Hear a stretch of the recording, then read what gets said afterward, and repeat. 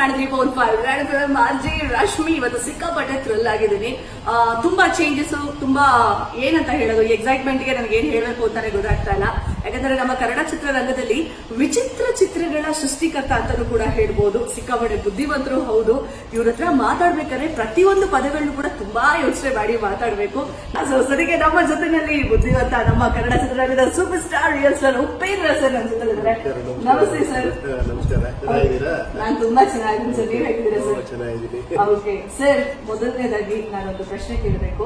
ಕನ್ನಡ ಚಿತ್ರರಂಗಕ್ಕೆ ನಿಮ್ಮ ಎಂಟ್ರಿ ತುಂಬಾ ಡಿಫ್ರೆಂಟ್ ಆಗಿದೆ. ಅದರಿಂದ ನಾವು ಮಾತಾಡಕ್ ಹೋದ್ರೆ ಇಡೀ ದಿನ ಸಾಗೋದಿಲ್ಲ ಒಂದು ಶಾರ್ಟ್ ಫಾರ್ಮ್ ಅಲ್ಲಿ ಹೇಳ್ತೀವಿ ನಮ್ಮ ಲಿಸ್ನರ್ಸ್ಗೆ ಅಂತ ಅನ್ನೋದಾದ್ರೆ ಹೆಂಗ್ ಹೇಳಕ್ಕೆ ಸರ್ ನಿಮ್ಗೆ ಚಿತ್ರರಂಗದಲ್ಲಿ ಚಿತ್ರರಂಗದ ಬಗ್ಗೆ ಇಂಟ್ರೆಸ್ಟ್ ಬರೋದ್ ಕಾರಣ ಏನು ಸರ್ ನಿಜ ಹೇಳ್ಬೇಕಾದ್ರೆ ಇವಾಗ ನಾನು ಸ್ಟಾರ್ಟ್ ಮಾಡಿರೋದೇ ಮೂಲ ಇಂಟ್ರೆಸ್ಟ್ ಈ ಪ್ರಜಾಜ್ಞೆ ಅಂತ ಸ್ಟಾರ್ಟ್ ಮಾಡಿದ್ದೀನಲ್ಲ ಇದೆಲ್ಲೋ ಒಂದು ಚಿಕ್ಕದಾಗಿ ನನ್ನ ತಲೆಯಲ್ಲಿತ್ತು. ಇತ್ತು ಅದು ಏನಕ್ಕೆ ಅಂತ ಗೊತ್ತಿಲ್ಲ ಏನಕ್ಕೆ ಅದು ಬಂತು ಆ ವಯಸ್ಸಿ ಅಂತ. ಒಂದು ನಾನೇನೋ ಏನೋ ಒಂದು ಒಂಬತ್ತನೇ ಕ್ಲಾಸು ಹತ್ತನೇ ಕ್ಲಾಸು ಫಸ್ಟ್ ಪಿ ಯು ಸಿನೋ ಆ ಥರನೇ ಇರಬೇಕು ನನಗೆ ಅಸ್ಪಷ್ಟವಾಗಿ. ಏನೋ ಒಂದು ಮಾಡಬೇಕು ಏನೋ ಒಂದು ಬದಲಾವಣೆ ತರಬೇಕು. ವಿಚಿತ್ರ ಏನೋ ಅಂತ ಗೊತ್ತಿಲ್ಲ. ನಾನು ಚಾಮರಾಜಪೇಟೆ ಎಷ್ಟಾಗಲ್ಲ ಇದೆ ಅಂತಲೇ ಗೊತ್ತಿಲ್ಲ. ಕರ್ನಾಟಕ ಅಂದ್ರೆ ಏನೋ ಗೊತ್ತಿಲ್ಲ. ಆ ಥರ ಒಟ್ಟಿನಲ್ಲಿ ಏನೋ ಒಂದು ಏನೋ ಮಾಡಬೇಕು ಮಾಡಬೇಕು ಅವಾಗ ಏನು ಮಾಡಬೇಕು ಏನೋ ಫೇಮಸ್ ಆಗಬೇಕು. ಫೇಮಸ್ ಆಗ್ಬಿಟ್ಟು ಏನೋ ಮಾಡ್ಬೇಕು ಆಮೇಲೆ ಸೊ ಅದಕ್ಕೆ ಫೇಮಸ್ ಆಗ್ಬೇಕಾದ್ರೆ ಸಿನಿಮಾ ಬರಬೇಕು ಅಂತ. ಆಮೇಲೆ ಸಿನಿಮಾ ಬರೋಕಾದ್ರೆ ಏನ್ ಮಾಡ್ಬೇಕು ಅಂದ್ರೆ, ಓ, ಎಲ್ಲ ತಿಳ್ಕೊಂಡಿರ್ಬೇಕು, ಅಲ್ಲಿ ಹೋಗ್ಬೇಕು ಅಂತ. ಅವಾಗ ಡೈಲಾಗು ಸ್ಕ್ರಿಪ್ಟ್ ಎಲ್ಲ ಬರೆಯೋಕೆ ಶುರು ಮಾಡಿದೆ.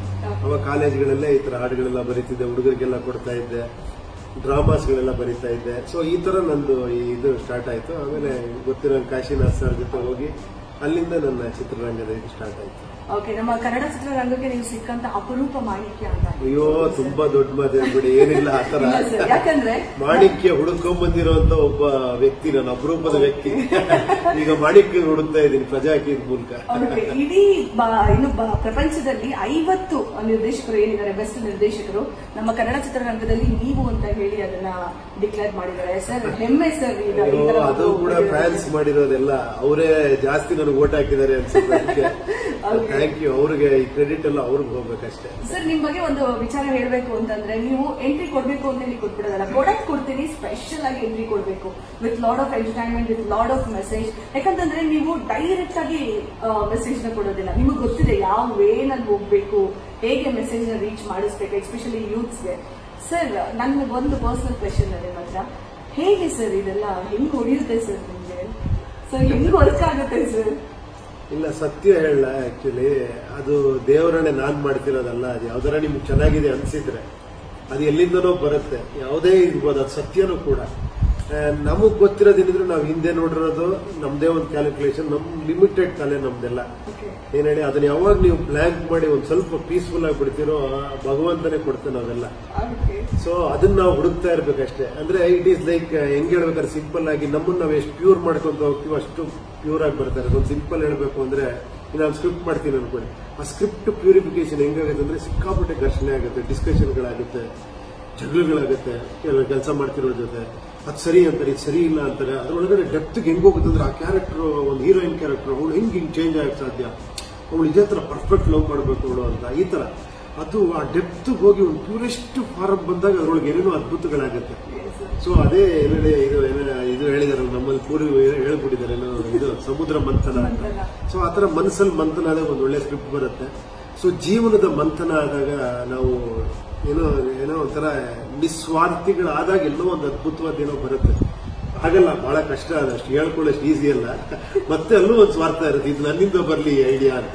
ನನ್ನ ಹೆಸರು ಬರಲಿ ಅದು. ಅದನ್ನೂ ಕಳ್ಕೊಳ್ಳೋದಿದೆಯಲ್ಲ ಅದು ಎಲ್ಲರೂ ಪ್ರಯತ್ನ ಪಡಬೇಕು ನಾನು ಆಗೋಗ್ಬಿಟ್ಟಿದ್ದೀನಿ ಅಂತ ಹೇಳ್ತಿಲ್ಲ I am also on that way sir A ಚಿತ್ರದ ಬಗ್ಗೆ ನಾನು ಹೇಳಬೇಕು ಅಂತಂದ್ರೆ ಯಾಕೆ ಅನ್ಕೊಂಬೋದು ಈಗ ಯಾಕೆ ಆ ಎ ಚಿತ್ರದ ಬಗ್ಗೆ ಮಾತಾಡ್ತಾ ಇದಾರೆ ಅಂತಂದ್ರೆ ಆಗ್ಲಿಂದ ಇಲ್ಲಿವರೆಗೂ ಈಗಲೇ ನನಗೆ ಉಪಯೋಗ ಸರ್ ಸಿಕ್ಕಿರೋದು. ಸರ್ ನಾನು ಎ ಚಿತ್ರದ ಬಗ್ಗೆ ನನಗೆ ಕ್ವಶನ್ ಖಂಡಿತ ಇದೆ ಸರ್ ನಿಮಗೆ.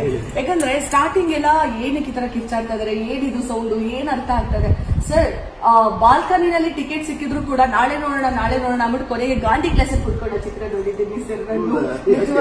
ಆ ತರ ಕ್ರೌಡ್ ಇದೆ ಸರ್. ಏನ್ ಹಂಡ್ರೆಡ್ ಡೇಸ್ ಆದ್ರೂ ಜನ ಹೋಗ್ತಾನೆ ಇಲ್ಲ ಥಿಯೇಟರ್ನಲ್ಲಿ ಫುಲ್ ರಶ್ ಆಗ್ತಾನೆ ಇದೆ. ಅದಾದ ಮೇಲೆ ಆ ಹೆಣ್ಣಿನ ಒಂದು ರೋದನೆಯ ಹಿಂದೆ ಇರುವಂತಹ ವಿಚಿತ್ರ ಸಂಗತಿಗಳನ್ನ ಎಳೆ ಎಳೆಯಾಗಿ ಬಿಚ್ಚಿರ್ತೀರಲ್ಲ ತುಂಬಾ ವರ್ಷಗಳ ಹಿಂದೆನೆ ಆ ತರ ಎಲ್ಲ ಯೋಚನೆ ಮಾಡಿದೀರ ಸರ್ ಅನ್ಸುತ್ತಾ ನಿಮಗೆ ನಿಜ ಅದು ಸತ್ಯ?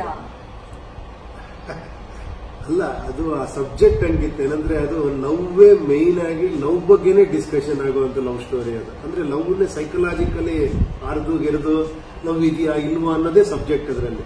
ಒಬ್ಳಿಗೆ ಜೀವನದಲ್ಲಿ ಲವ್ ಅನ್ನೋದು ಇದೆ ಅಂತ ಒಬ್ಳು ಪ್ರತಿಪಾದಿಸುವಂತ ಹುಡುಗಿ. ಅವಳಿಗೆ ಪಾಪ ಅಂದ್ರೆ ಇನ್ನೋಸೆಂಟ್ ಇನ್ನೋಸೆನ್ಸಿನೇ ಲವ್. ಕ್ಯಾಲ್ಕುಲೇಷನ್ ಮುಂದೆ ಲವ್ ಇರಲ್ಲ. ಅಲ್ವಾ? ಇವನ್ ತಿಕ್ಕಾಬಿಟ್ಟೆ ಕ್ಯಾಲ್ಕುಲೇಟಿವ್ ಇವನು ಒಬ್ಬ ಡೈರೆಕ್ಟರ್ ಇವನು. ಸೊ ಇವ್ರಿಗೆ ಲವ್ ಇಲ್ಲ ಅಂತ. ಕೊನೆಗೆ ಇವನು ಹೆಂಗ್ ಇನ್ನೋಸೆಂಟ್ ಆಗ್ತಾನೆ? ಕೊನೆಗೆ ನಿಜವಾದ ಅವಳ ಜೀವನದಲ್ಲಿ ಹೆಂಗ್ ಅನುಭವಗಳಾಗತ್ತೆ ಅನ್ನೋ ಇದರಲ್ಲಿ ಸೊ ಆ ತರದ ಕೆಲವು ಸನ್ನಿವೇಶಗಳು ಬಂದಿತ್ತು. ಕೊನೆಗೂ ಕೂಡ ಲವ್ವೇ ಗೆಲ್ಲತ್ತೆ ಅನ್ನೋದೇ ಆ ಪಿಕ್ಚರ್ ಸಂದೇಶ. ಓಕೆ ನೀವು ಲವ್ ಮಾಡು ಅಂತಾನು ಕೇಳಿಲ್ಲ ಲವ್ ಮಾಡಿ ಅಂತಾನು ಹೇಳಿಲ್ಲ ನೀವು ಲವ್ ಮಾಡ್ಲೇಬೇಕು ನೀನು ಅಂತ ಅಂದ್ಬಿಟ್ಟು ಅದು ಒಂಥರ ಏನಂದ್ರೆ ಎಲ್ರಿಗೂ ಅದಿರುತ್ತೆ ಆ ಯೂತ್ ಏನೋ ಆ ಯೂತ್ಫುಲ್ ಆಗಿರೋ ಏಜ್ ಅಲ್ಲಿ ಏನಾಗುತ್ತೆ ಅಂದ್ರೆ ನನಗೆ ಬೇಕೇ ಬೇಕು ಅನ್ನೋದು ಇರುತ್ತೆ. ಅದೇ ಎನರ್ಜಿ ಅದು. ಅದು ತುಂಬಾ ನೆಗೆಟಿವ್ ಹೋಗ್ಬಿಟ್ರೆ ಕಷ್ಟ ಆಕ್ಚುಲಿ ಅದು ಬ್ಯಾಲೆನ್ಸ್ ಆಗ್ಬೇಕು ಆಕ್ಚುಲಿ ಸೊ ಈಗ ಎಲ್ಲರಿಗೂ ಗೊತ್ತಾಗ್ಬಿಟ್ಟಿದೆ ಅದು. ಈಗ ಈಗಿನ ಟೆಕ್ನಾಲಜಿ ಲೈಫಲ್ಲಿ ಏನಂದ್ರೆ ಬ್ಲೆಸ್ಡ್ ಈಗಿನ ಜನರೇಷನ್ ಏನಂದ್ರೆ ಅವ್ರು ಎಲ್ಲವನ್ನೂ ನೋಡ್ತಾರೆ. ಸಿಕ್ಕಾಪಟ್ಟೆ ಏನೋ ಅಡ್ವಾನ್ಸ್ ಆಗಿದ್ದಾರೆ. ಅವ್ರಿಗೆ ಇದನ್ನ ದೊಡ್ಡ ವಿಷಯ ಅನ್ಸೋದಿಲ್ಲ. ದೇ ಆರ್ ಇನ್ ಹೈಯರ್ ಇದು ಟ್ರಾವೆಲಿಂಗ್ ಅಲ್ಲಿ ಇದ್ದಾರೆ. ಸರ್ ಈಗ ತೆರೆ ಮೇಲೆ ನಿರ್ದೇಶಕನಾಗಿ ಅಂಡ್ ಒಬ್ಬ ಕಲಾವಿದನಾಗಿ ಆ, ಸಾಕಷ್ಟು ರೂಪಕಗಳನ್ನ ನೀವು ತೋರಿಸಿದ್ರೆ ನಮ್ಮ ಹೊರಗೆ ಬಂದು ನಿಮ್ಮ ಪರ್ಸ್ನಲ್ ಲೈಫ್ ಅಂತ ನಾವು ನೋಡಕ್ ಹೋದಾಗ ಹೇಳ್ತಾ ಇರ್ತೀರ ಯಾವಾಗ್ಲೂ ಕೂಡ ತುಂಬಾ ಸ್ಟ್ರಾಂಗ್ ಆಗಿದೆ. ಖಾಲಿ ರೂಪದಲ್ಲಿ ಬಂದು ನನ್ನ ತುಂಬಾ ತಂದೆ ಮಾಡ್ಬಿಟ್ರು ಅಂತ ಹೇಳಿ ನಮ್ಮ ಪ್ರಿಯಾಂಕಾ ಮ್ಯಾಮ್ ಬಗ್ಗೆ ನಾವು ಮರೆಯೋ ಹಾಗೆ ಇಲ್ಲ. ಸರ್ ನಿಮ್ ಲವ್ ಸ್ಟೋರಿ ಶುರು ಆದಾಗ ಫಸ್ಟ್ ಪ್ರಪೋಸ್ ಮಾಡಿದ್ಯಾರ ಸರ್ ನೀವು ನಾನೇ. ನೀವೇನಾ? ಓಕೆ ಅದೊಂದು love story very long love story ಬಿಡಿ. ಅದು ನಾವು ಮದುವೆಗೆ ಮುಂಚೆನೆ ಒಂದು ಮೂರ್ನಾಲ್ಕು ವರ್ಷ ಬರೀ ಫೋನ್ ಕಾನ್ವರ್ಸೇಷನ್ ಲವ್ ಸ್ಟೋರಿ ಇತ್ತು ಅದಾದ್ರ ಮೇಲೆ ಅದೇ ಹೇಳಿದ್ನಲ್ಲ, ಅಲ್ಲೂ ಕೂಡ ಅಷ್ಟೇ, ಆ ಹೌದು ನಮಗೆ ಒಂದು ಮೈಂಡ್ ಸೆಟ್ ಇತ್ತಲ್ಲ, ಹಾಗೆ ಇತ್ತು ಆಕ್ಚುಲಿ ಅದು ಗೊತ್ತಿಲ್ದೇನೆ ಮತ್ತೆ ಅದು ಅನ್ಎಕ್ಸ್ಪೆಕ್ಟೆಡ್ ಆಗಿ ಅದು ಏನಕ್ಕೆ ಇಷ್ಟ ಆದ್ಲು, ಏನಕ್ಕೆ ಅಂತ ಗೊತ್ತಿಲ್ಲ. ಹೇಳಿ. ಸುಂದರವಾದ ಹುಡುಗಿ ತುಂಬಾ ಜನ ಇದೆ ಯಾಕೆ ಅವಳ ಮೇಲೆ ನೋವು ಆಯ್ತು ಗೊತ್ತಿಲ್ಲ. ಸೊ ಅದು ಗೊತ್ತಿಲ್ಲದೆ ಹಂಗೆ ಆಗ್ತಾ ಹೋಯ್ತು. ಆಮೇಲೆ ಆಮೇಲೆ ಆಮೇಲೆ ಆಮೇಲೆ ರಿಯಲೈಸ್ ಆಗ್ತಾ ಹೋಯ್ತು ಮಕ್ಕಳಾದ್ರ ಮೇಲೆ. ಆಮೇಲೆ ಆಮೇಲೆ ಡಿಫ್ರೆನ್ಸ್ಗಳು ಗೊತ್ತಾಗ್ತಾ ಹೋಯ್ತು. ಇಲ್ಲ, ನಾನು ಬೇರೆ ತರ, ಅವಳು ಬೇರೆ ತರ. ಆಮೇಲೆ ಹೆಂಗ್ ಅಡ್ಜಸ್ಟ್ ಆಗ್ಬೇಕು? ಅದ್ರಲ್ಲಿ ಸ್ಯಾಕ್ರಿಫೈಸ್ ಅನ್ನೋದಿದೆ ಅವಾಗ ಮಕ್ಕಳ ಮುಖ ಮುಂದೆ ಬರುತ್ತೆ. ಸೊ ಈ ತರ. ವೆರಿ ನೈಸ್ ಸರ್ ನೀವು ಸಾಕಷ್ಟು ಜನರಲ್ಲಿ ಒಂದು ಬದಲಾವಣೆನ ನೋಡೋದಕ್ಕೆ ಇಷ್ಟಪಡ್ತೀರಾ? ದೇಶದಲ್ಲಿರುವಂಥ ಪ್ರಜೆಗಳಲ್ಲಿ ಬದಲಾವಣೆ ನೋಡೋಕೆ ಇಷ್ಟಪಡ್ತೀರಾ? ಪ್ರಿಯಾಂಕಾ ಮ್ಯಾಮ್ ನಿಮ್ ಲೈಫ್ ಎಂಟ್ರಿ ಕೊಟ್ಮೇಲೆ ನಿಮ್ಮಲ್ಲಾದಂತಹ ಬದಲಾವಣೆಗಳು ನಾವು ಏನಿರ್ಬೋದು ಸರ್ ಯಾಕಂದ್ರೆ ನಿಮ್ನ ಬದಲಾವಣೆ ಮಾಡೋದಕ್ಕೆ ಅವರೊಬ್ಬರಿಂದ ಮಾತ್ರ ಸಾಧ್ಯ. ಇಲ್ಲ ಖಂಡಿತ. ಏನಂದ್ರೆ ನನ್ನನ್ನ ಏನು ಮಿರರ್ ತರ ಎದುರುಗಡೆ ಬದಲಾವಣೆ ನನಗೆ. ಅಂದ್ರೆ ನನ್ನ ಏನ್ ಹೇಳಿ ನನ್ನನ್ನು ಬದಲಾವಣೆ ಮಾಡೋ ಬದಲು ನೀನ್ ಬದಲಾವಣೆ ಆಗುವಂಥದ್ದು ಆ್ಯಕ್ಚುಲಿ ಅದು ಹೆಂಗೆ ಅಂದ್ರೆ, ಅದು ತುಂಬಾ, ಇದು ತುಂಬಾ ಡೆಪ್ತ್ ಅಲ್ಲಿ ಕೇಳ್ತಿದ್ದೀರಾ ನೀವು ಕ್ವಶನ್ ನೀವು ಜಗತ್ತನ್ನು ಚೆನ್ನಾಗಿ ನೋಡಬೇಕು ಅಂದ್ರೆ ನೀವು ಫಸ್ಟ್ ಬದಲಾಗಬೇಕು ಅನ್ನೋದು ಇದೆಯಲ್ಲ? ನಾನು ಕಲ್ತಿದ್ದೆ ಅವಳಿಂದ. ಸೊ ನಿಮ್ಮ ಮುದ್ದು ಮಕ್ಕಳು ಸೊ ಅವ್ರ ಮುಂದೆ ಏನಾದ್ರು ಫ್ಯೂಚರ್ ಅಲ್ಲಿ ಇಂಟರ್ವ್ಯೂ ಆಲ್ರೆಡಿ ನಿಮ್ಮ ಮಗಳು ಬಂದಿದ್ದಾರೆ. ಸೊ ಮುಂದೆ ನಿಮ್ಮ ಮಗ ಜೂನಿಯರ್ ಇಲ್ಲಪ್ಪ ಗೊತ್ತಿಲ್ಲ ಅವ್ರಿಗೆ ಏನ್ ಇಂಟ್ರೆಸ್ಟ್ ಇದೆಯೋ ಗೊತ್ತಿಲ್ಲ. ಈಗೇನು ಈಗ ಇನ್ನೂ ಓದ್ತಾ ಇರೋ ವಯಸ್ಸಾದಿಂದ ಶೂಟಿಂಗು ಬರಲ್ಲ ಅವರು. ಎಲ್ಲೂ ಎಲ್ಲೂ ಹೊರಗೆ ಬರಲ್ಲ ನಮ್ ಜೊತೆನೆ ಬರಲ್ಲ ಅಂತಾರೆ ಇವಾಗ. ಯಾವಳು ಓದೋ ಓದೋ ಅಂತಿರ್ತಾರೆ. ನೋಡೋಣ ಮುಂದೆ ಅವ್ರಿಗೇನೋ ಇಂಟ್ರೆಸ್ಟ್ ಬಂದ್ರೆ ಬರ್ಬೋದು. ಇಲ್ಲ ಅಂದ್ರೆ ಅವ್ರಿಗೆ ಏನ್ ಇಂಟ್ರೆಸ್ಟ್ ಇದೆಯೋ ಅದು ಮಾಡ್ಬೋದು. ಓಕೆ ಸರ್ ನಿಮ್ಮ ಪ್ರಕಾರ ನಮ್ಮ ಕನ್ನಡ ಚಿತ್ರರಂಗದಲ್ಲಿ ಏನಾದರೂ ಒಂದು ಬದಲಾವಣೆ ಬರಲೇಬೇಕು ಅಂತ ಅನ್ನೋದಾದ್ರೆ ಏನ್ ಬದಲಾವಣೆ ಇಷ್ಟಪಡ್ತೀರಾ ಸರ್? ಇಲ್ಲಪ್ಪ ಬದಲಾವಣೆ ಆಗ್ತಾನೆ ಇದೆ. ಅದು ನಿರಂತರ ಕಲೆ ಅನ್ನೋ ಇದ್ರಲ್ಲಿ ಇದೆಯಲ್ಲ ಇಂಡಸ್ಟ್ರಿಲ್ ಅದು ಅದು ಆಟೋಮೆಟಿಕ್ ಆಗಿ ಬದಲಾವಣೆ. ನಾನು ಎಕ್ಸ್ಪೆಕ್ಟ್ ಮಾಡಿದ್ರೆ ನಾನು ಮಾಡ್ಲಿ ಮಾಡಿದಿಲ್ಲ ಅದು ಆಗ್ತಾನೆ ಇರುತ್ತೆ. ಹೊಸಬರು ಬರ್ತಾ ಇರ್ತಾರೆ ಹೊಸ ಹೊಸ ಹೀರೋಗಳು ಹೊಸ ಹೊಸ ಡೈರೆಕ್ಟರ್ ಹೊಸ ಹೊಸ ಕಲ್ಪನೆಗಳು ಐಡಿಯಾಸ್ಗಳು ಬರ್ತಾನೆ ಇರುತ್ತೆ. ಫಾರ್ಮೇಶನ್ಗಳು ಚೇಂಜ್ ಆಗ್ತಿದೆ. ಫಿಲಮ್ ಇದು ಡಿಜಿಟಲ್ ಆಯಿತು. ಈಗ next first day first show ಬರುತ್ತೆ ಜಿಯೋದು. ಮನೇಲಿ ಕೂತ್ಕೊಂಡು ಫಸ್ಟ್ ಡೇ ನೀವು ನೋಡೋ ಅಂತದ್ದಾಗುತ್ತೆ ಸೊ ಈ ತರ ಬದಲಾವಣೆಗಳು ಆಗ್ತಾನೆ ಇರುತ್ತದು. ಅದಕ್ಕೆ ನಾವು ಸಿದ್ಧರಿರ್ಬೇಕಷ್ಟೇ ಒಟ್ನಲ್ಲಿ ಯಾವ ಹೊಸ ಕಲಾವಿದರು ಬಂದ್ರು ಏನೇ ಹೊಸ ಕಲ್ಪನೆಗಳು ಬಂದ್ರು ಕೂಡ ಉಪೇಂದ್ರ ಸರ್ ಡೈರೆಕ್ಷನ್ ಮಾಡ್ತಾರೆ ಅಂತಂದ್ರೆ ಅದಕ್ಕೆ ವೆಯ್ಟ್ ಮಾಡ್ತಾ ಇರ್ತಾರಲ್ಲ ಸರ್ ನಿಜವಾಗ್ಲೂ ಅದನ್ನ ನೋಡೋದಕ್ಕೆ ಅಸಾಧ್ಯ ಸರ್ ಅಷ್ಟು ಜನ ಇಲ್ಲಪ್ಪ. ಅದೇ ನನಗೆ ಭಯನೂ ಕೂಡ. ಯಾಕಂದ್ರೆ ಇಷ್ಟು ಎಕ್ಸ್ಪೆಕ್ಟೇಷನ್ ನನ್ನ ಇನ್ನೂ ಕೈ ಕಟ್ಟಾಕತ್ ನನಗೆ. ಸುಮ್ಮನೆ ಒಂದು ಸಿನಿಮಾ ಮಾಡಿ ಅಂದ್ರೆ ಮಾಡ್ಬಿಡ್ತೀನಿ ನಾನು. ಬಟ್ ನನಗೂ ಆಮೇಲೆ ಕಾಡಕ್ಕೆ ಶುರು ಆಗುತ್ತೆ ಏನು ಎಕ್ಸ್ಪೆಕ್ಟ್ ಮಾಡ್ತಾರೆ? ನನ್ನಿಂದ ನಾನು ಇದುವರೆಗೆ ಈ ತರ ಸಿನಿಮಾಗಳು ಮಾಡಿದ್ದೀನಿ. ನೆಕ್ಸ್ಟ್ ನನಗೆ ಹೇಳೋದಕ್ಕೆ ಏನಿದೆ ಫಸ್ಟ್ ಆಫ್ ಆಲ್ ಏನ್ ಹೇಳಿದ್ರೆ ಚೆನ್ನಾಗಿರೋದು ಅದು ನಾನು ಎಫೆಕ್ಟಿವ್ ಆಗಿ ಹೇಳಕ್ ಸಾಧ್ಯನಾ? ಆಮೇಲೆ ಹೇಳೋದು ಸರಿನಾ ಅದು? ನಾನು ಹೇಳೋದು? ಆಮೇಲೆ ಅದನ್ನ ನಾನು ಮನೋರಂಜನೆ ಮೂಲಕನೂ ಹೇಳಬೇಕಲ್ಲ, ಬೇಜಾರು ಆಗ್ಬಾರ್ದು.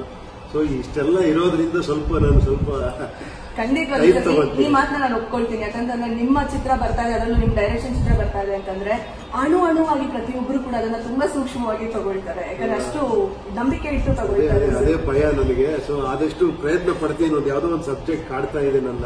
ನೋಡೋಣ ಅದನ್ನೆಲ್ಲ ಪಕ್ಕ ಆದ್ರೆ ಮಾಡೋಣ ಅನ್ಕೊಂಡಿದ್ದೀನಿ ನೋಡೋಣ. Very nice sir Gauri Ganesha ಹಬ್ಬ. ಅದು ಗಣಪತಿ ನಿಮ್ಮ ಫೇವ್ರೆಟ್ ದೇವರು. ಸೊ ಒಂದು ಚಿತ್ರದಲ್ಲಿ ನೋಡ್ಬಿಟ್ರೆ ಯಾಕೆ ಇವ್ರು ಹಿಂಗ್ ದ್ವೇಷಿಸ್ತಾ ಇದಾರೆ ಅನ್ಸುತ್ತೆ? ಇವತ್ತೊಂದು ದಿನ ನಿಮ್ಗೆ ಗಣಪತಿ ತುಂಬಾ ಫೇವ್ರೆಟ್ ದೇವ್ರು ನಾನು ಕೇಳ್ಪಟ್ಟಿದ್ದೀನಿ. ಹೇಗ್ ನಡೀತು ಸರ್ ನಿಮ್ಮ ಮನೆಯಲ್ಲಿ ಗೌರಿ ಗಣೇಶ? ದ್ವೇಷೋದು ಅಂತ ಹೇಳ್ಬಿಡಿ ನಾವು ಜಾಸ್ತಿ ಪ್ರೀತಿಸೋದನ್ನ ದ್ವೇಷೋದು? ನೆಗ್ಲೆಕ್ಟ್ ಮಾಡ್ಬಿಡ್ತೀವಿ ನಾವು. ತುಂಬಾ ನಿಮ್ಮನ್ನ ಹೇಟ್ ಮಾಡ್ತಿರೋದ್ರೆ ಅವ್ರ ಬಗ್ಗೆ ಜಾಸ್ತಿ ಗಮನ ಕೊಡಿ. ಯಾಕಂದ್ರೆ ತುಂಬಾ ನಿಮ್ಮನ್ನ ಇಷ್ಟಪಡ್ತೀರ ವಾವ್ ಸೋ ಸ್ವೀಟ್ ಇವತ್ತು ನಿಜವಾಗ್ಲೂ ನನಗೆ ಏನ್ ಹೇಳೋದು? ತುಂಬಾ ರಿಯಲೈಸೇಷನ್ ಉದಯ ಏನು ಏನ್ ಹೇಳ್ತಾರೆ? ಉದಯ ಆಗೋಗ್ಬಿಟ್ಟು ಸರ್ ನಿಮ್ಮ ಒಟ್ಟಿಗೆ ನಾನು ಕೂತಿ ಒಂದು ಮಾತು. ಸೊ ತುಂಬಾ ನಾಟ್ ಸರ್ ಒಂದು ಕ್ವೆಶನ್ ಸರ್ ನಂಗೆ ತುಂಬಾ ಇಷ್ಟ ಸರ್ ನಿಮ್ಮ ಈ ಒಂದು ಐಸ್ ಸ್ಕಿನ್ ಆಗ್ತಾ ಇರುತ್ತಲ್ಲ ಅದು ನಿಜವಾಗ್ಲೂ ಹೇಗೆ ನಾವು ತೆರೆ ಮೇಲೆಲ್ಲ ನೋಡ್ತಿದ್ದಾಗ ಹೇಗಿದು ಸಾಧ್ಯ ಅದ್ರ ಪ್ರಯತ್ನನೂ ಪಟ್ಟದಲ್ಲಿ ಫ್ಲಾಪ್ ಅದೇ ತುಂಬಾ ಜನ ಪ್ರಯತ್ನ ಪಟ್ಟು ಅದನ್ನ ಅಭ್ಯಾಸನ ಮಾಡ್ಕೊಂಡು ನನಗೆ ವಿಡಿಯೋಗಳು ಕಳಿಸ್ತಾರೆ ಕಣ್ಣಿಗೆ ಅಲ್ಲಾಡಿಸ್ಕೊಂಡು. ನಾನು ಹೇಳ್ತಾನೆ ಹೇಳ್ತೀನಿ ದಯವಿಟ್ಟು ಮಾಡ್ಬೇಡ್ರಪ್ಪ. ಇದು ನನ್ನ ಟ್ಯಾಲೆಂಟ್ ಅಲ್ಲ ಇದು ಈ ಮ್ಯಾನುಫ್ಯಾಕ್ಚರಿಂಗ್ ಡಿಫೆಕ್ಟ್ ಇದು. ಅದು ಸರ್. ಹುಟ್ಟದಾಗಿದ್ದಿರೋದು ನನಗೆ. ಓಕೆ ಸೊ ಬಟ್ ಅಂದ್ರೂ ಸರ್ ಯಾರು ಮಾಡಕ್ ಆಗದೆ ಇರುವಂತ ಚಾಲೆಂಜ್ ಇದು. ನಮ್ಮ ಆ, ಎಷ್ಟೊಂದ್ ಜನ ಯೂತ್ಸ್ ಎಲ್ಲ ಟ್ರೈ ಮಾಡಿದ್ರಿ ಅನ್ನೋ ಹೇಳಿದ್ರೆ ಸರ್ ನಾನು ಕೂಡ ಟ್ರೈ ಮಾಡಿದ್ದೀನಿ ಬಟ್ ಅದು ಆಗಿಲ್ಲ. ಬಟ್ ಈಗ ಗೊತ್ತಾಗ್ತದೆ ಬಟ್ ನಿಜ ಕಲೆ ಸರ್ ಅದು. ನೋಡಿ ಅದು ಶೇಕ್ ಆಗ್ತಾನೆ ಇರುತ್ತೆ ನೋಡಿ. ಹೌದಲ್ಲ ನೋಡಿ ಹಿಂಗ್ ನೋಡ್ರಿ ನೋಡಿ ಅಲ್ಲಾಡ್ತಾನೆ ಇರುತ್ತೆ ಹೌದಾ? ಬಟ್ ಅದು ನಿಮ್ಗೆ ವರ ಆಗಿದೆ ಸರ್ ಅದು ಆಕ್ಚುಲಿ ಓಕೆ ಸರ್ ಏನ್ ಅನಿಸ್ತಾ ಇದೆ ಸರ್ ಇದ್ರ ಮೇಲೆ ಬಗ್ಗೆ ತುಂಬಾ ಸಂತೋಷ ತುಂಬಾ ಖುಷಿ ಆಯ್ತು. ಇಡೀ ಮೈಸೂರಲ್ಲೇ ಕೂತ್ಕೊಂಡು ಮೈಸೂರು ಜನರ ಹತ್ರ ಮಾತಾಡ್ತಿರೋ ಹತ್ರ ಇದೆ ನನಗೆ ನೈಸ್ ಯಾಕಂದ್ರೆ ನಾನು ಯಾವಾಗಲೂ ತುಂಬಾ ಎಂಜಾಯ್ ಮಾಡೋದು. ಎಲ್ಲರೂ ಆಕ್ಚುಲಿ ನಾನು ಅಂತಲ್ಲ ನಮ್ಮ ಶೂಟಿಂಗ್ ಎಲ್ಲಿದೆ? ಮೈಸೂರಲ್ಲಿ ನಮ್ಗೆ ತುಂಬಾ ಖುಷಿ ಆಗುತ್ತೆ. ಯಾಕಂದ್ರೆ ನಿಜವಾದ ಏನೋ ಕರ್ನಾಟಕ ನಾವು ಮೈಸೂರಲ್ಲಿ ಕಾಣಿದೆ ಬೆಂಗಳೂರಲ್ಲಿ ಹೊಟ್ಟೋಗ್ಬಿಟ್ಟಿದೆ ಅದು. ಇಲ್ಲಿ ಟ್ರಾಫಿಕ್ ಗಿಫಿಕ್ ಅಲ್ಲಿ ಅಲ್ಲಿ ಇವತ್ತಿಗೂ ಕೂಡ ಆ ರಸ್ತೆಗಳು ಆ ಸರ್ಕಲ್ಗಳು ಆ ಏನೋ ಆ ಗ್ರೀನರಿ ಆಮೇಲೆ ಆ ಜನಗಳೆಲ್ಲ ನೋಡಿದಾಗ ತುಂಬಾ ಅದ್ಭುತ ಅನ್ಸುತ್ತೆ ಅದು. ನಿಜವಾಗ್ಲೂ ನಮ್ಮ ಪ್ಯಾರಿಸ್ ಅದು ನಮ್ಮ ಕರ್ನಾಟಕಕ್ಕೆ. ಸೂಪರ್. ಪ್ಯಾರಿಸ್ ಅನ್ನೋಕ್ಕಿಂತ ಮೈಸೂರು ಆಕ್ಚುಲಿ ಪ್ಯಾರಿಸ್ ಮೈಸೂರು ಅಂತ ಕರಿಬೇಕು ಆಕ್ಚುಲಿ ನಾವು ಅವ್ರನ್ನ ಪ್ಯಾರಿಸ್ ಅನ್ಬಾರ್ದು. ಅದ್ಭುತವಾದ ಜಾಗ ಅದ್ಭುತವಾದ ಸ್ಥಳ. ಬಹಳ ಖುಷಿ ಆಗತ್ತೆ. ಹೆಚ್ಚು ಹೆಚ್ಚು ನಾನು ಜಾಸ್ತಿ ಅಲ್ಲೇ ಇರಬೇಕು ಅಂತ ಆಸೆ ಪಡ್ತೀನಿ. ಬೆಸ್ಟ್ ಫ್ರೆಂಡ್ ಯಾರು ಸರ್ ಬೆಸ್ಟ್ ಫ್ರೆಂಡ್ ನನಗೆ ನಾನೇ. ಬೆಸ್ಟ್ ಎನಿಮಿನೂ ನಾನೇ. ಅಲ್ಲ ಅಕಸ್ಮಾತ್ ನೀವು ಲಾಂಗ್ ಡ್ರೈವ್ ಹೋಗ್ಬೇಕು ಅಂತ ಇಷ್ಟಪಡ್ತೀರಾ ಅಂತಂದ್ರೆ ಸೊ ಅಫ್ಕೋರ್ಸ್ ತುಂಬಾ ಟೈಮ್ ಫ್ಯಾಮಿಲಿ ಜೊತೆ ಸ್ಪೆಂಡ್ ಮಾಡ್ತೀರಾ. ಸೊ ಫ್ಯಾಮಿಲಿನ ಬಿಟ್ಟು ಹೊರಗೆ ಎಲ್ಲಾದ್ರೂ ನಿಮ್ಮ ಫ್ರೆಂಡ್ಸ್ ಜೊತೆ ಟೈಮ್ ಸ್ಪೆಂಡ್ ಮಾಡ್ಬೇಕು ಅಂತಂದ್ರೆ ಸಾಮಾನ್ಯವಾಗಿ ಯಾರ ಜೊತೆನೆಲ್ಲ ಓಡಾಡೋದಕ್ಕೆ ಇಷ್ಟಪಡ್ತೀರಾ? ಇಲ್ಲ ಆ ಥರ ಇಲ್ಲ. ನಮ್ದು ಫ್ರೆಂಡ್ ಸರ್ಕಲ್ ಇದೆ. ಅವ್ರ ಜೊತೆ ಎಲ್ಲ ಹೋಗ್ತಾ ಇರ್ತೀವಿ. ಫ್ಯಾಮಿಲಿ ಗೆಟ್ ಟುಗೆದರ್ ಎಲ್ಲ ಮಾಡ್ತಾ ಇರ್ತೀವಿ. ಆ, ಥರ ಅದೇ ಹೇಳೋದಲ್ಲ ಅದು ತುಂಬಾ ಡೆಪ್ತ್ ಅಲ್ಲಿ ಕೇಳ್ತಿದ್ದೀರಾ ನೀವು ಫ್ರೆಂಡ್ ಅಂದ್ರೆ. ತುಂಬಾ ಫ್ರೆಂಡ್ ಅಂದ್ರೆ ಯಾರು ಅಂದ್ರೆ ನಾನೇ ಯೋಚನೆ ಮಾಡಬೇಕಾಗಿದೆ ಯಾರಪ್ಪ ಅದು ಅಂತ. ಜನಕ್ಕೆ ತೆರೆ ಮೇಲೆ ನಿಮ್ನ ನೋಡಿ ನೋಡಿ ನೋಡಿ ಏನಾಗುತ್ತೆ ಆ ಒಬ್ರು ಸೆಲೆಬ್ರಿಟಿ ಅವ್ರ ಫೇವ್ರೆಟ್ ಸ್ಟಾರ್ ಜೀವನ ಶೈಲಿನ ತಿಳ್ಕೊಬೇಕು ಅನ್ನುವಂಥದ್ದು ನಮಗೆ ಶೋನಲ್ಲಿ ಕೇಳ್ತಾ ಇರ್ತಾರೆ. ಮೇಡಮ್ ಉಪೇಂದ್ರ ಸರ್ ಇದನ್ನ ಕೇಳಿ ಇದನ್ನ ಕೇಳಿ ಅಂತ ಇದೆಲ್ಲ ನಿಮ್ಮ ಫ್ಯಾನ್ಸ್ ಪ್ರಶ್ನೆ ಸರ್ ಇದಿಷ್ಟು ಕೂಡ ನಿಮ್ಮ ಫ್ಯಾನ್ಸ್ ಕಡೆಯಿಂದ ಬಂದಿದೆ ಖಂಡಿತ ಅವ್ರು ಹೇಳಿ ನನ್ನ ಜೀವನ ನಾನು ಕಲ್ತಿರೋದು ನನಗೆ ಬೆಸ್ಟ್ ಫ್ರೆಂಡ್ ನಾನೇ. ಅದು ತುಂಬಾ ದೊಡ್ಡವರೆಲ್ಲ ಹೇಳ್ಬಿಟ್ಟಿದ್ದಾರೆ ನನಗೆ ಬೆಸ್ಟ್ ಎನಿಮಿನೂ ನಾನೇ. ನನ್ನ ಜೊತೆ ನಾನು ಯಾವಾಗಲೂ ಮಾತಾಡ್ತಾ ಇರ್ತೀನಿ. ಪ್ರತಿದಿನ ಕನ್ನಡಿ ಮುಂದೆ ನಿಂತು ನಿನ್ನ ಜೊತೆನಲ್ಲಿ ನೀನು ಮಾತಾಡು. ಕನ್ನಡಿ ಮುಂದೆ ಇಲ್ಲದೆ ಬೇಡ ನಾನು ಎಲ್ಲಿದ್ರು ಕೂಡ ಕೇಳ್ತಾನೆ okay sir very nice sir ಯಾವುದೇ ಕಾರಣಕ್ಕೂ ಮರೆಯೋ ಹಾಗಿಲ್ಲ. ಪ್ರಜಾಕೀಯ ಸೊ ಮುಂದೆ ಏನೆಲ್ಲ ಯೋಜನೆಗಳು ಬರ್ತಾ ಇದೆ ಇಲ್ಲ ಏನಿಲ್ಲ. ನಾನು ಪ್ರತಿ ಸತಿ ಮತ್ತೆ ಮತ್ತೆ ಹೇಳ್ತೀನಿ ಇದು ಪ್ರಜಾಕೀಯ. ನಾನ್ ಮಾಡೋದು ಅನ್ಕೊಂಬಿಡಿ ನಾನು ಖಂಡಿತ ಹಂಗಂತ ನಾನು ಎಸ್ಕೇಪ್ ಆಗ್ತಾ ಇಲ್ಲ. ನಾನು ಮಾಡ್ತಾ ಇದ್ದೀನಿ ನಾನು ಪಕ್ಷ ಮಾಡಿದ್ದೀನಿ. ಇದು ಯೂತ್ಸ್ ಎಲ್ಲರೂ ಕೂಡ ಅರ್ಥ ಮಾಡ್ಕೊಂಡು ಇದನ್ನ ಇದರಲ್ಲಿ ಸಪೋರ್ಟ್ ಮಾಡೋದೊಂದೇ ಅಲ್ಲ ಇದರಲ್ಲಿ ನೀವೇ ಭಾಗವಹಿಸಬೇಕು ಬಂದು. ನನಗೆ ತುಂಬಾ ನಾಲೆಡ್ಜಬಲ್ ವ್ಯಕ್ತಿಗಳು ಬರಬೇಕಿಲ್ಲಿ ಒಂದು ಬದಲಾವಣೆ ತರಬೇಕಿಲ್ಲಿ ಆತರ ಇಲ್ಲಿ ಯಾವುದೇ ಸ್ವಾರ್ಥ ಇಟ್ಕೊಂಡು ಬರಬಾರ್ದಿಲ್ಲಿ ಇಲ್ಲಿ. ಏನ್ ಹೇಳಿ, ನನ್ನ ಸತ್ಯವಾಗಿರ್ಬೇಕದು ಟ್ರಾನ್ಸ್ಪರೆನ್ಸಿ ಬರಬೇಕು. ಏನೇಳಿ ನಮ್ಮ ದುಡ್ಡು ನಮ್ಗೆ ಟ್ರಾನ್ಸ್ಪರೆನ್ಸಿ ಇರಲೇಬೇಕು. ಯಾಕಂದ್ರೆ ಜನಗಳ ದುಡ್ಡು ಸರ್ಕಾರ ನಡೆಯೋದು. ಜನಗಳಿಗೆ ಅದು ಟ್ರಾನ್ಸ್ಪರೆನ್ಸಿ ಬೇಕೇ ಬೇಕು. ಸರ್ಕಾರದಲ್ಲಿರೋ ಅಧಿಕಾರಿಗಳಿಗೆಲ್ಲ. ಅದೊಂದೇ ನಮ್ಮ ಮೇನ್ ಇದೆ ಅಂದ್ರೆ ಅದು ಹಂಡ್ರೆಡ್ ಪರ್ಸೆಂಟ್ ಅಲ್ಲೊಂದು ಕಡೆ ಪ್ಯೂರ್ ಆಗಲೇಬೇಕು. ಎಲ್ಲೋ ಒಂದು ಕೇಳಿದೆ ಮೋರ್ ದೆನ್ ಸಿಕ್ಸ್ಟಿ ಪರ್ಸೆಂಟ್ ನಾವು ಸಂಪಾದನೆ ಮಾಡೋ ಟ್ಯಾಕ್ಸ್ನ ಏನು ಸ್ಯಾಲ್ರೀಸ್ ಕೊಡ್ತೀವಂತೆ ನಾವು? ಮೇಂಟೆನೆನ್ಸ್ಗೆ ಇವ್ರದ್ದು. ಇನ್ ಲೆಕ್ಕ ಹಾಕೊಳ್ಳಿ ವಾಪಸ್ ಬರೋದು ಎಷ್ಟು ಜನಕ್ಕೆ ಸೊ ಈಗಿರೋ ಟೆಕ್ನಾಲಜಿ ಅಷ್ಟೆಲ್ಲ ಬೇಕೇ ಆಗಿಲ್ಲ. ಸೊ ನೋಡೋಣ ಆ ಬದಲಾವಣೆ ಜನನೇ ತರ್ತಾರೆ ಖಂಡಿತ. ಯಾಕಂದ್ರೆ ಇದು ಎಲ್ಲರೂ ಯೋಚನೆ ಮಾಡಬೇಕಾದ್ರೆ ನಾವು ಹಿಂಗೆ ಮುಂದುವರೆದ್ರೆ ಏನೋ ನಾವು ಒಂದು ಒಳ್ಳೆ ಸಮಾಜ ರೂಪಿಸಕ್ಕೆ ಸಾಧ್ಯನೇ ಇಲ್ಲ. ಖಂಡಿತ ಎಲ್ಲರೂ ಪ್ರಯತ್ನ ಪಟ್ಟಿತ್ತು ಆಗುತ್ತೆ ಖಂಡಿತ ಆಗುತ್ತೆ ಅನ್ನೋ ಭರವಸೆ ನನಗಿದೆ very nice we wish all the very best ನಿಮ್ಮ ಎಲ್ಲ ಯೋಜನೆಗಳು ಕೂಡ ಆದಷ್ಟು ಬೇಗ ನೆರವೇರಲಿ. ಅಂಡ್ ನಾವು ಕೂಡ ಯಾವಾಗ್ಲೂ ಇರ್ತೀವಿ. You, thank you. ಸೊ ಎಲ್ಲಿ ಒಳ್ಳೇದಿರುತ್ತೆ ಅಲ್ಲಿ ಇರೋಣ. ನಿಮ್ಮ ಕಡೆಯಿಂದ ನಮ್ಮ ಲವ್ಲಿ ವ್ಯೂವರ್ಸ್ಗೆ ಒಂದು ಎಲ್ಲರಿಗೂ ಹೇಳ್ಬಿಟ್ಟು ಮೈಸೂರಿನ number one radio station super hit ninety three point five red F M ಮಸ್ತ್ ಮಜಾ ಮಾಡಿ. Super very nice sir so thank you so much sir so ಒಂದು ಸ್ವಾರ್ಥ ಹೇಗೆ ಸರ್ ಮಾತಾಡಿ? ಏ ತುಂಬಾ ಚೆನ್ನಾಗಿತ್ತು. ತುಂಬಾ ಖುಷಿಯಾಗಿ ನೀವು ಬಹಳ ಸ್ಪಾಂಟೇನಿಯಸ್ ಆಗಿ ಕೇಳ್ತೀರ ಆಮೇಲೆ ಬಹಳ ಡೆಪ್ತ್ ಕೇಳ್ತೀರಾ ನೀವು? ನಿಮ್ಮ ನಿಮ್ ವಯಸ್ಸಿಗೆ ಮೀರಿದ ಕ್ವಶನ್ ಎಲ್ಲ ಕೇಳ್ತೀರಾ ನೀವು?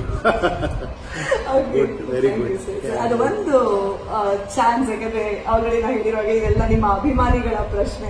ಸೊ ಅದರಲ್ಲಿ ನಾನು ಕೂಡ ಒಬ್ಳು ನಿಮ್ಮ ಅಭಿಮಾನಿಯಾಗಿ ಕೇಳಿದಂತಲ್ವಾ ಪ್ರಶ್ನೆ ಥ್ಯಾಂಕ್ ಯು ಸೋ ಮಚ್ ನಿಮ್ಮ thank time sir thank you sir